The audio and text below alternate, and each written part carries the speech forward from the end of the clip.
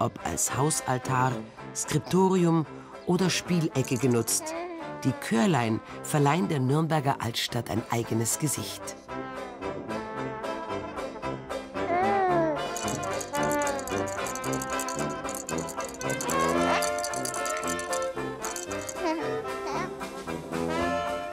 Das erste Gebäude, das die Altstadtfreunde gekauft und in Eigeninitiative wieder hergerichtet haben, steht in der unteren Krämersgasse.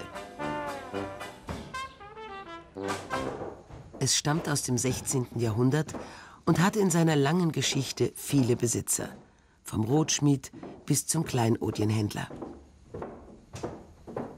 Der Fachwerkbau hatte den Zweiten Weltkrieg mit einigen Blessuren gut überstanden. Dann aber ließ man ihn völlig herunterkommen. Die Ruine von einst ist heute ein Schmuckstück geworden. Während die oberen Stockwerke als Wohnungen vermietet sind, befindet sich im Erdgeschoss Nürnbergs älteste Puppenklinik.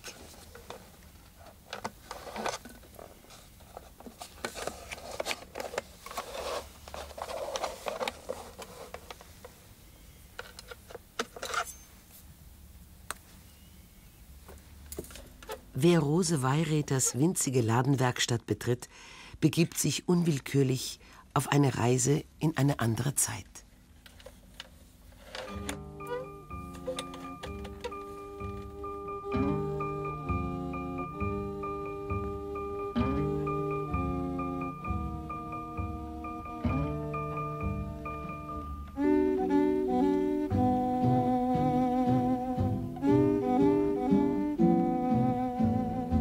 Seit dem 15. Jahrhundert ist Nürnberg mit seinem Umland eine Spielwarenhochburg. Dies sind die frühesten Fernsehbilder von der inzwischen alljährlich stattfindenden Nürnberger Spielwarenmesse. Sie stammen aus dem Jahr 1953.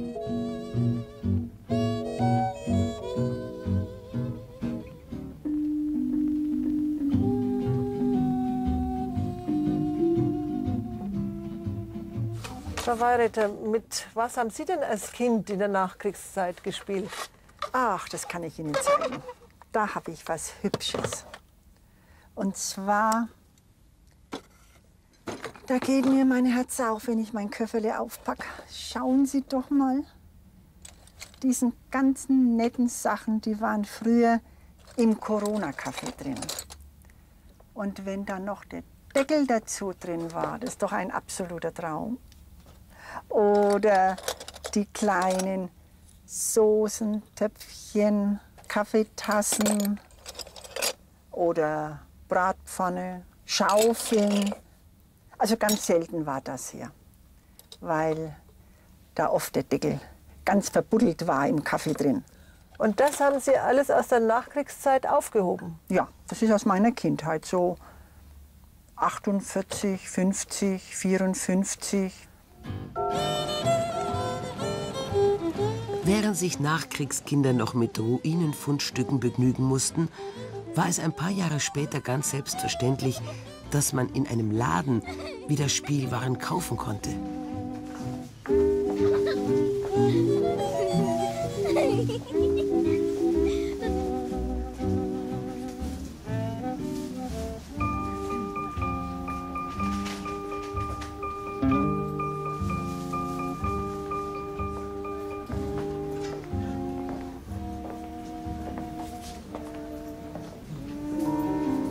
Also ich sammle selber schon seit meinem 20. Lebensjahr. Viel auf dem Sperrmüll oder auf Flohmärkten.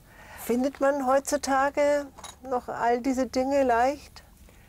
Ja, im Antiquitätenhandel sicher.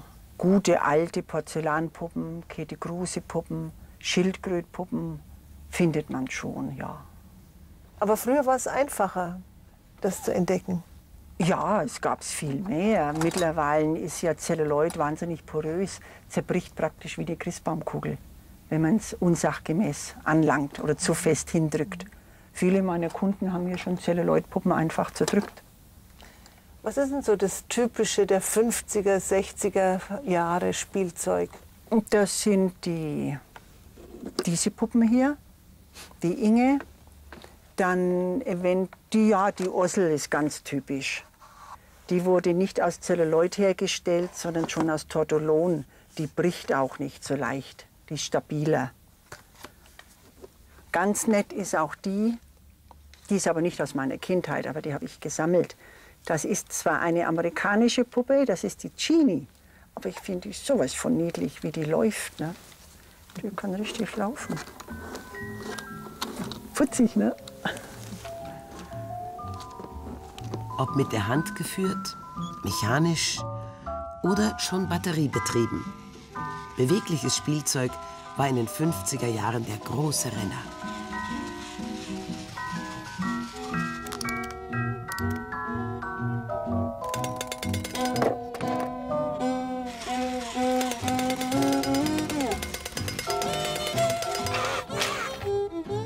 Die neueste Erfindung, der Astromann. Solch ein ferngesteuerter Roboter konnte auch damals schon das Kind im Manne wecken.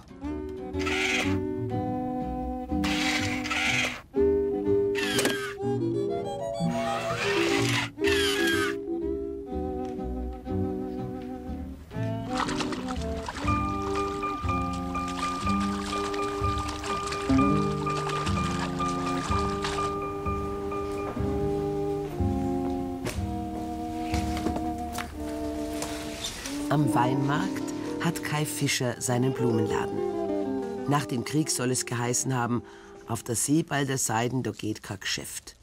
Heute blüht dieses Altstadtviertel im wahrsten Sinne des Wortes auf. Also ich komme ja vom Dorf. Und für uns war das immer so eine richtige Weltreise, nach Nürnberg überhaupt zu kommen. Also das hat man sich auch wirklich nicht, jetzt dann fährt man ja einmal am Tag, zweimal rauf und runter. Früher war das wirklich so ein Monat, einmal im Monat ein Ausflug. Und äh, ich habe mir das immer so einmal im Monat gegönnt und habe mich dann in die breite Gasse gesetzt und habe mir die Leute angeguckt, weil sie immer gar so schräg waren. Da gab es Punker und dann gab es äh, irgendwelche alten Omas mit, mit, mit Krokohandtaschen. Das fand ich immer super. So was gab es bei uns auf dem Dorf nicht.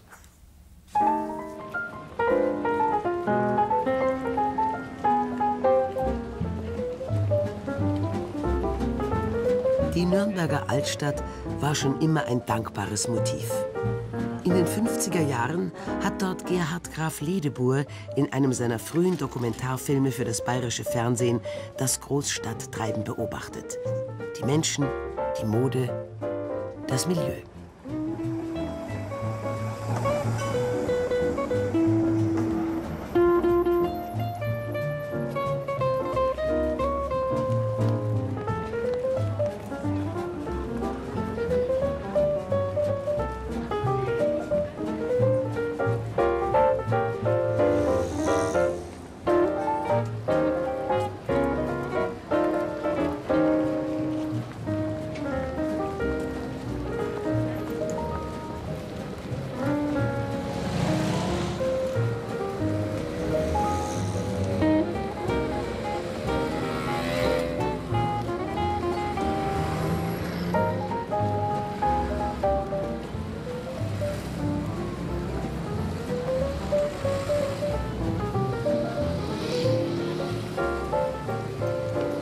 Altstadt hat sehr viel Potenzial, wird vor allem von äh, Touristen und Auswärtigen erkannt. Alle sagen, sie, oh, Nürnberg ist so toll, hat so viele kleine Geschäfte, hier kriegt man alles, die Leute sind nett.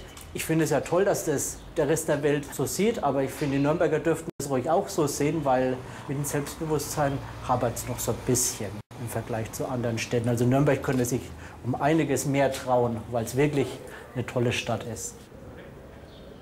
In der Nähe seines Blumenladens am Fuße der Kaiserburg wohnt der Florist und Organist in einem mittelalterlichen Fachwerkhaus, das die Luftangriffe im Zweiten Weltkrieg weitgehend unbeschadet überstanden hat.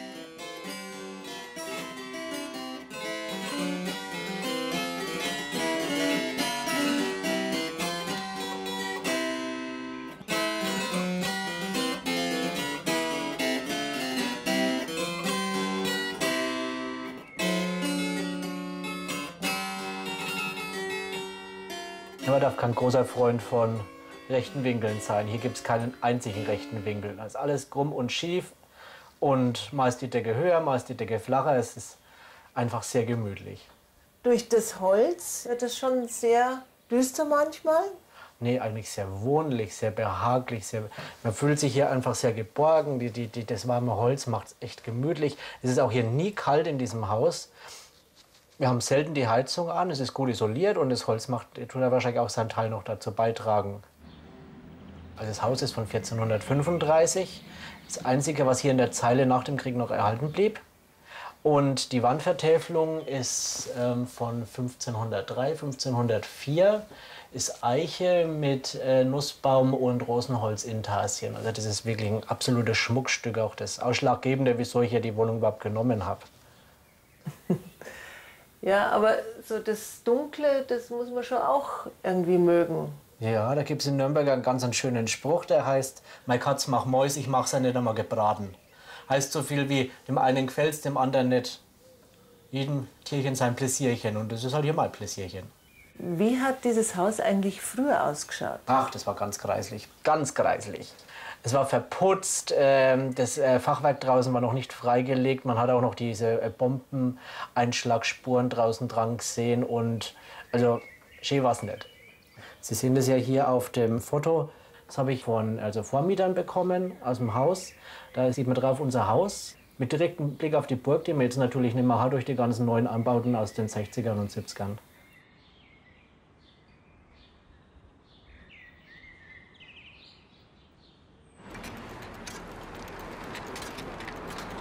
Inzwischen ist es Nacht in Nürnberg geworden.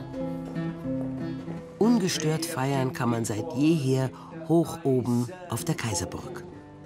Heit bin ich froh, wenn ich Fuß schlafen kann. Ja, ich bin Heideluck und ich Heideluck. Ich bin Heidenümberchelum. In seinem Turmatelier hat der Künstler Günter Schmidt-Klör zu sauren Zipfeln mit handgemachter Musik geladen. Fränkische Köstlichkeiten, die nur Mundart und Bratwurstbanausen nicht gutieren können.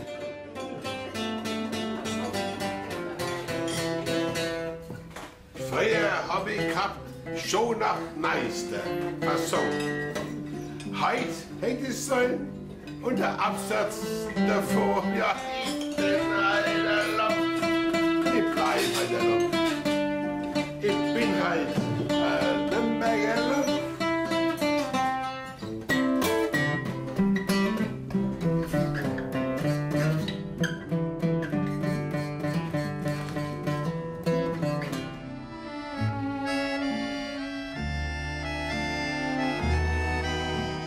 Nachtschwärmer gab es natürlich auch früher in Nürnbergs Altstadtgassen. Wem die Sperrstunde geschlagen hatte, dem leuchteten damals allerdings noch Gaslaternen heim.